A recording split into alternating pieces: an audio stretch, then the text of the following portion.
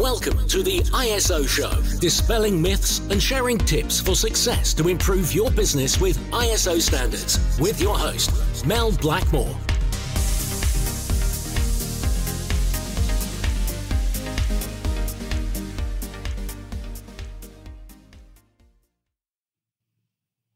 Hello and welcome to the ISO show. Well, today I'm joined by Richard Turner, who's the head of asset management over at Greater Anglia, which is a train operating company here in the UK. And we're going to be talking about his journey in relation to asset management and ISO 55001. Greater Anglia have been certified to this standard for a few years now, and they're actually a bit of a trendsetter as far as asset management and certification is concerned in relation to ISO 55001. So without further ado, welcome Richard.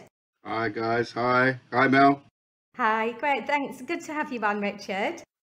First of all, before we dive into kind of your experience in asset management, can we just talk about Greater Anglia and what they do for our ISO show listeners? So Greater Anglia were one of the first train operating companies to, to embark on a full repair and lease in 2012.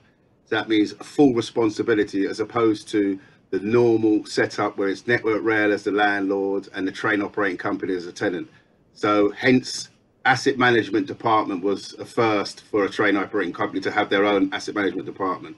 So that was a, a really big thing for a lot of us that joined asset management. I came from Network Rail, joined asset management in a department where train operating company were leading from an asset management point of view. So it's fantastic for us. Really good. Yeah. Great. And can you just um, share with us a bit about your background as well, then, please, Richard? You mentioned about you came from Network Rail.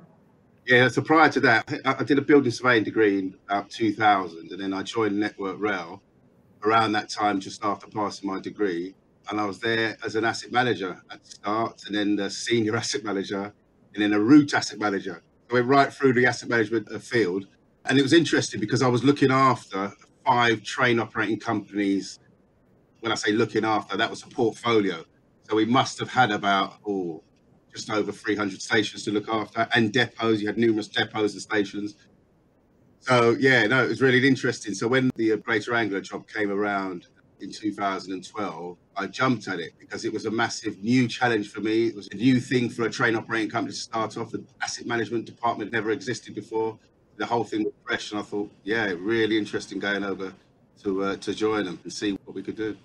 So, for those listeners that aren't actually familiar with asset management, could you just kind of describe what it is and why is it important to an organisation? Yeah, it's an interesting point.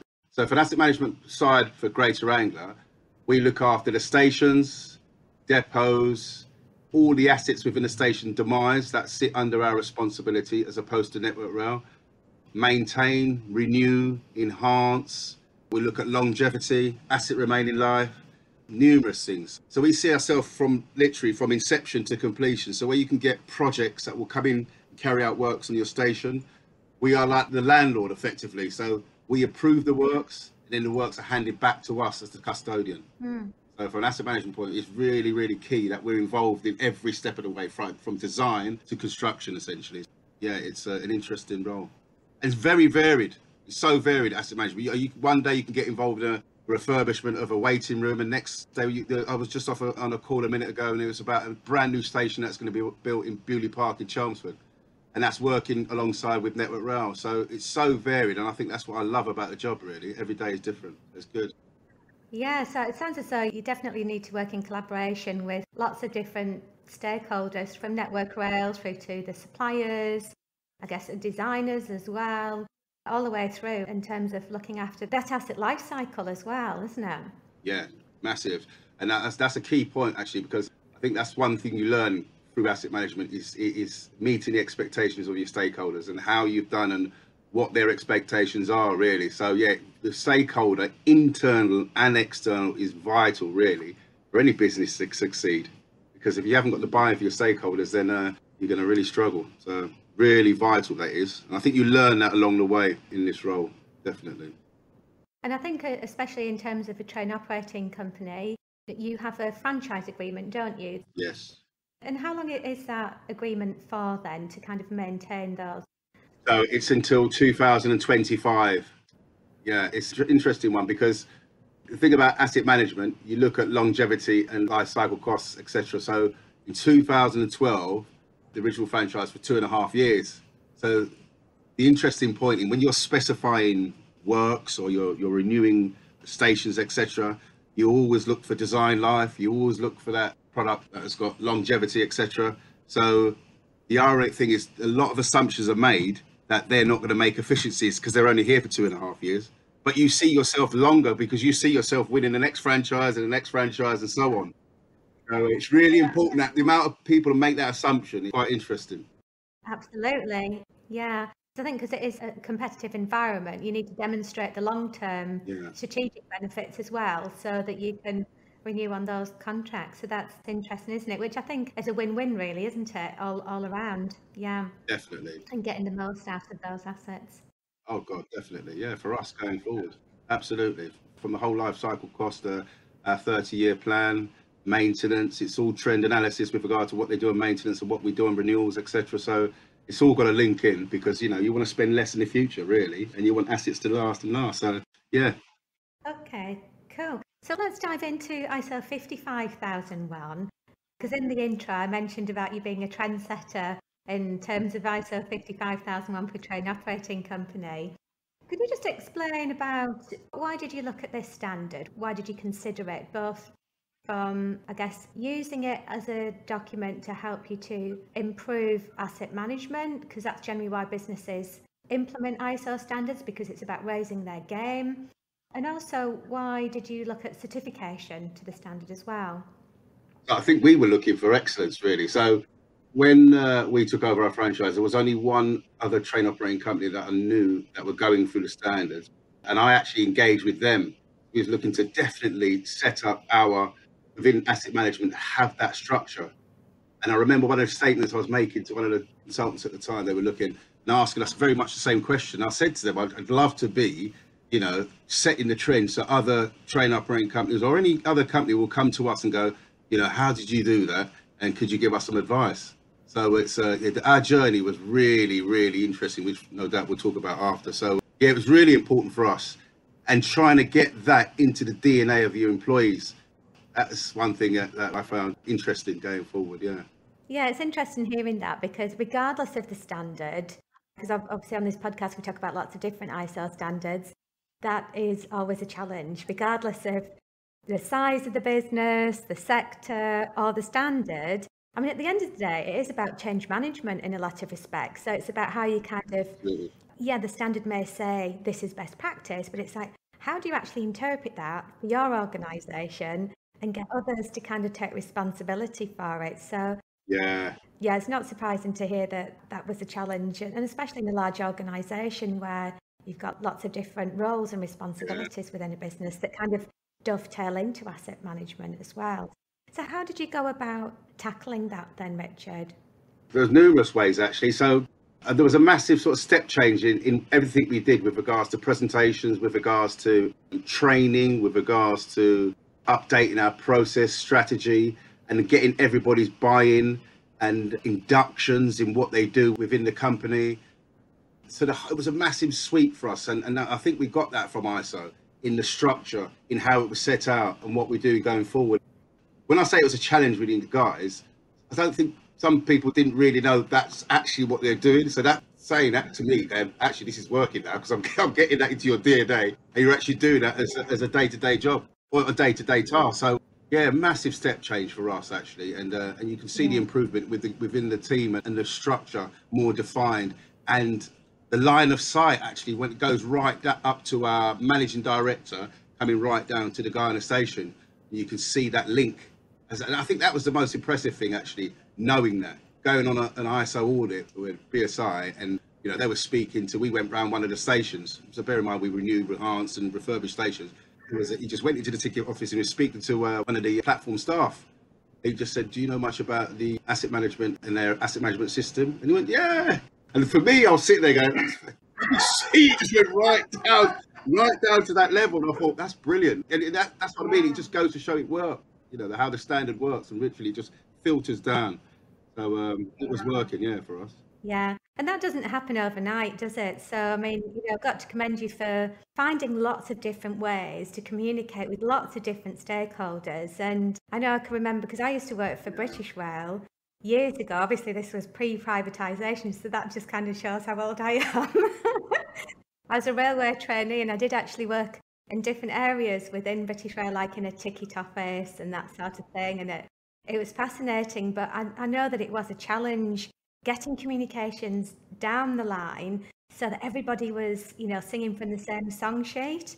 And uh, I know that obviously when you're going through, I guess, you know, in terms of train operating companies, you have your own way of working. And it, again, I think it's about setting that standard as high as you possibly can that's still realistic and achievable to be able to deliver on. But yeah, getting that communicated and then getting people kind of yeah. buying into it, it's, uh, I know it's a challenge, yeah. Definitely.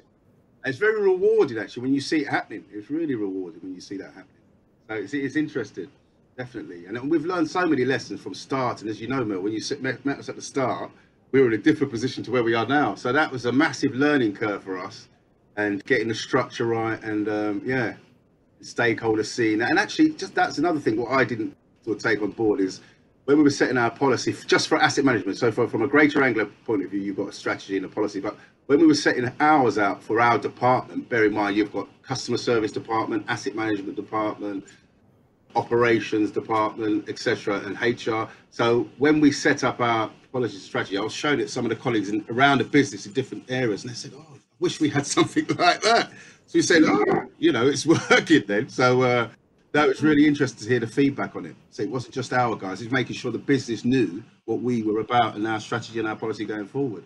Yeah, I know that you work with a really broad range of different suppliers as well, from you know FM companies to all sorts of different kinds of mm-hmm. suppliers. Mm-hmm. How do you think that that structure's helped you in having those policies and systems in place to kind of coordinate operations with those kind of stakeholders? Yeah. So one thing when you mentioned it, one of the first thing that came to mind is when we started the franchise in 2012, we inherited the existing asset management system via Network Rail to avoid risk of the assets because a lot of that information stored is very similar to NR system and, and information could be passed over very easily. So through our franchise, what we found is the way the system worked. And there were so many different things we wanted to do with that.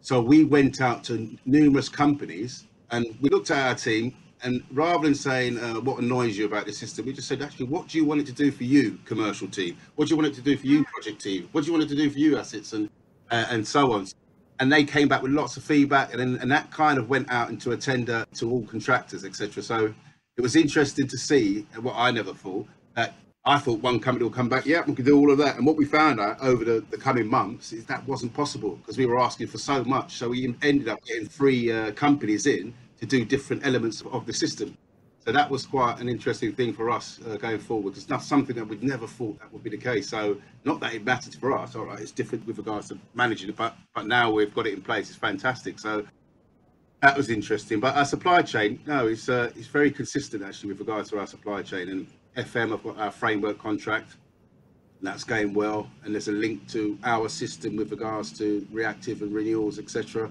So um, yeah, it's an interesting. It's challenges at the time, and yeah, it's interesting. What I love to see from contractors and tenderers when they come in is innovation. So you could put a tender out to numerous contracts and they could just read your specification of design and say, actually, yeah, now I can deliver that. It's great when you see someone coming and go, I can deliver that. But I'll tell you what, the way I can deliver that is slightly different. And here you go. Exactly, yeah. So thinking ahead and proactively, which is, yeah, absolutely. And obviously that can then link back to your asset management plan as well, can't it? And yeah, definitely, hundred percent. Yeah, yeah. And that goes back to what we were saying earlier about being trendsetters. So it's not just about necessarily ticking the box in terms of we need this delivering, and what else, you know, could that potentially deliver for us longer term. And making this an awesome asset, not just an asset. It's going to be able to deliver and some as well. Great. So, just finally, then, what are the kind of benefits that you've seen as a result of having that asset management system in place, then, Richard? Ooh, there's numerous. We're fantastic. no, uh, there's absolutely loads. Um, the benefits is literally from our surveys because essentially prior to setting up our new system, everything was in different. It was managed completely different. So what we've got it is now one big unit that just manages everything. So it's all linked effectively. So information with mm. regards to surveys, information with regards to renewals, information with regards to stakeholder project third party. It's all linked and the, the communication is all linked. So whereas before it would have been harder to manage because you're going to different places to try and obtain that information. So now it's all unified really in that sense. So yes, that must save you quite a lot of time then, and because I know that you have to report to various stakeholders yes. uh, in your position, Richard. So having all of that information at your fingertips and how it all connects with other areas of the business must be really helpful. And, and also it gives you that transparency and visibility, not just on the day-to-day operations, but longer term and projections, doesn't it? Absolutely. And that's key for us because one of the criteria of our a new franchise was to set up a 30 year plan. And then the way we've worked in the past, it was always a five year plan, look ahead like CP6, CP7. So it was interesting for us. We were thinking, actually, how did we do so? 30 years, that's a long way off. Yeah. So it's interesting to work that out with regards to asset condition, looked at the longevity, looked at what we were proposing, and we're measured on a sort of station stewardship measure. Then you've got a percentage asset remaining life of that, which the DFT like to see, and they showed you that sort of projection, and it showed you that condition of those individual assets you were maintaining to a certain degree. So, so you could get some train operating companies could come in and say, right, I've got stakeholders to please. What I'm going to do is sweat all those assets and spend very bare minimum, and I'll just tick along, and our stakeholders will be beneficial. We never did that. We're the complete reverse. We looked at it like we've got this.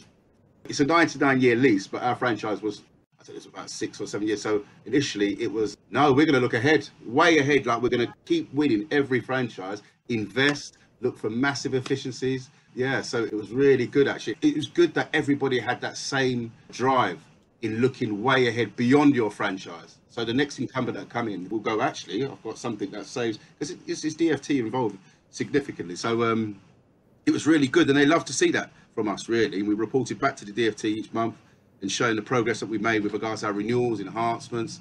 No, it was really good and lots and lots of innovation as well because we have monthly meetings and we sit down and look at new products out there, what's happening out there, what our other businesses doing. So it's just trying to keep abreast, and I suppose that goes back to what you originally said at the start, sort of um, being the trendsetter. Yeah, absolutely. And everything that you've just been describing, it's all about continual improvement, isn't it? So you kind of never stop improving. And having that system, I guess, enables you to be able to make those plans, projections, and to monitor the results against it. Because I know that obviously you've you've had ambitious plans there, and you know it's it needs a lot of organisation and control to be able to manage those deliverables as well. Oh God, massively, definitely, yeah, yeah. But it's good to see that line of sight, and it's good to see. I think every time you guys audit us, it just get better and better and better. I was thinking, God, compared to when it we first started, and to where we are now, it was amazing to see. Yeah, no, it was really good to see that actually. I remember when we first setting out our uh, policy. One of the things I did find it was interesting because one of the things that we've with Network Rail always did, and we started to do the same thing. It was all about asset condition. Always about asset condition. It was always you measured based on your asset condition. So then you build up your renewals plan and saying, actually, that's at its end of life. Now I'm going to renew it. It's got another 25 years or so on.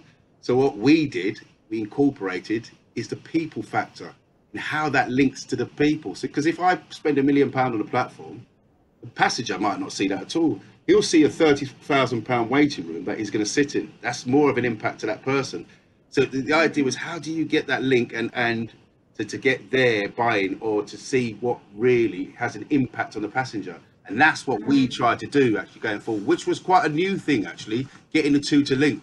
So yeah, and I think we've done pretty well at that going forward. And that's a learning curve for us. So it's interesting how you've kind of weaved in the customer journey into the asset management process. So just last question, if I may then. I know you've got a wealth of knowledge and experience in asset management and ISO 55001 now as well.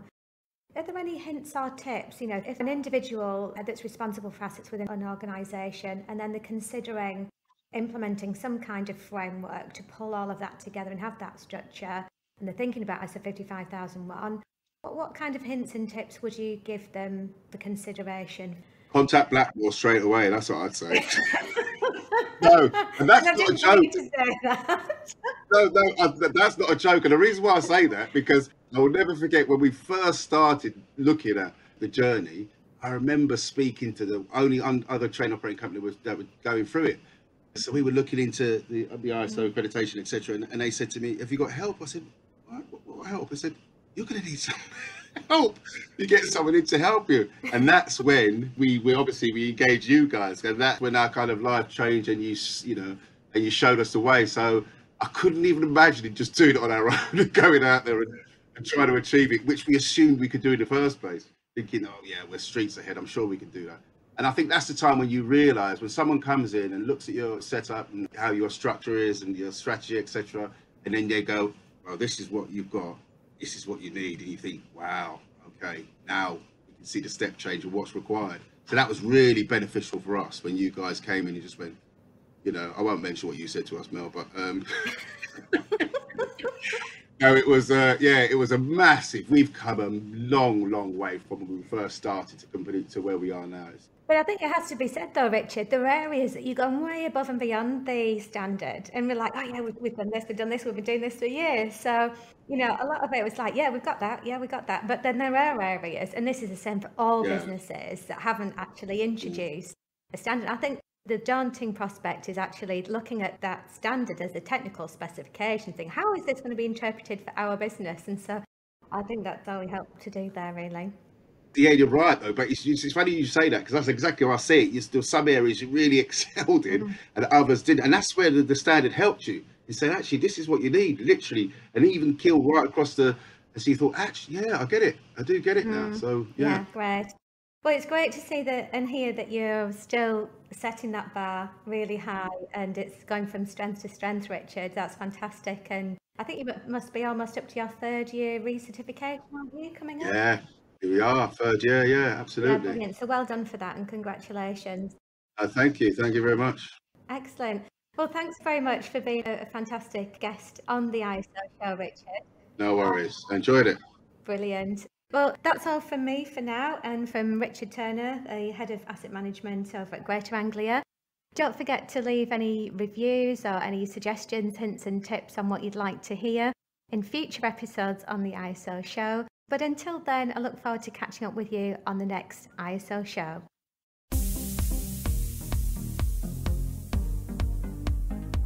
Looking to use ISO standards to drive better business practice? Contact us at blackmoresuk.com to access further information and book your free 15 minute call.